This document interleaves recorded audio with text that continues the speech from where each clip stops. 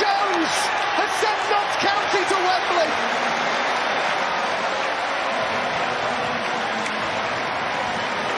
What an incredible game we've witnessed. Luke Garrard's side played a huge part in it. 2 0 up, away from home. They must have thought they were there, but with that last attack at the 90 minutes, Notts County with that dramatic equaliser set up by Jones, who then scored the winner himself. What a game, Kevin. What a match. Well, Just breathless. This place has absolutely erupted